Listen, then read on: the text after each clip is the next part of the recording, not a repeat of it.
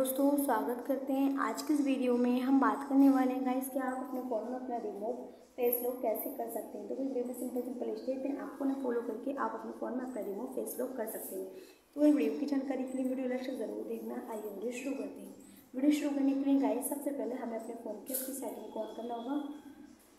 On करने के बाद गाइस आपको इस तरीके का इंटरफेस देखने था तो यहाँ पर आपको ऑप्शन देखने को मिला था पासवर्ड सिक्योरिटी तो हमें उस पर क्लिक कर देना है। क्लिक करने के बाद यहाँ पर आपको screen lock fingerprint face lock कई सारे ऑप्शन देखने को मिल जाते हैं तो गाइज़ हम अपने फ़ोन में अपना फेस लॉक रिमूव करना चाहते हैं तो उसके लिए हमें फेस लॉक पर क्लिक करना होगा और अपना ओल्ड पासवर्ड डाल देना जो आपने सेट कर रखा है, उसे नेक्स्ट कर देंगे।